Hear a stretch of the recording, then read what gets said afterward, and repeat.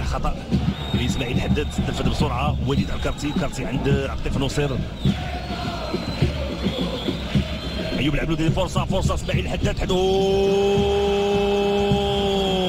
الهدف الأول لفائده فريق الوداد. هو الموقع إسماعيل الحداد.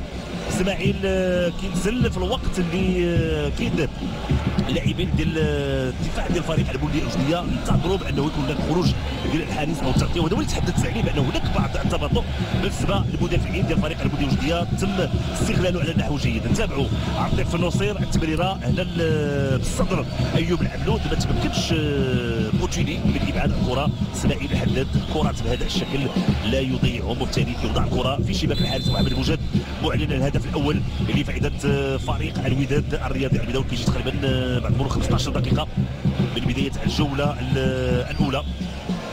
الآن غنتظروا ردة فعل فريق المولدية الوجدية بعد تسجيل هذا الهدف.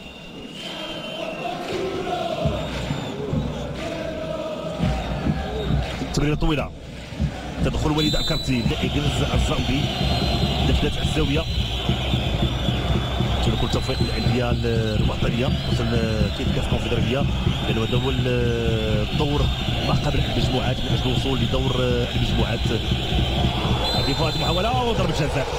الحكم كان قريب من العملية. كنقول هناك لمسة يد للاعب عبد اللطيف نصير والحكم لم يتردد في الإعلان عن ضربة جزاء لفائدة فريق البولوديه الوجدية. امامنا عبد اللطيف نصير تقريبا الوقت اللي صعد لمست آه، كاين الكرة اليد ديال العبيد.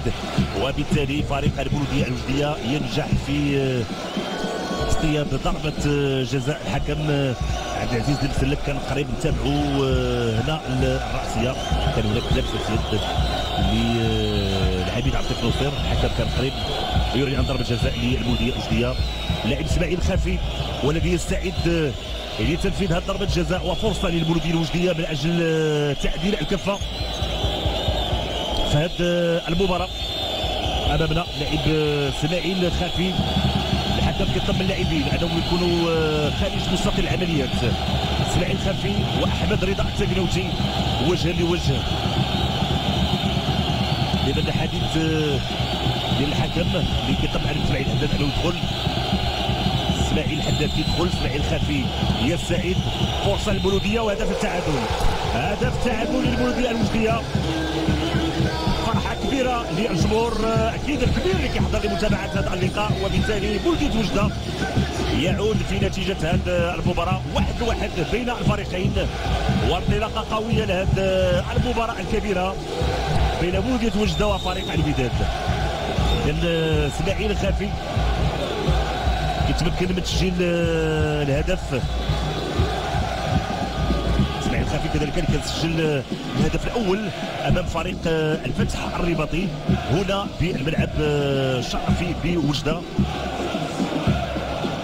كان الهدف الأول لمدير وجدية بعد افتتاح واستقبال فريق الوجديه بالملعب الشرفي. وبالتالي هذا هدف ثاني بالنسبة لهذا اللاعب إسماعيل خافي. إذا واحد واحد إسماعيل حداد للوداد وإسماعيل خافي للبلوديه الوجديه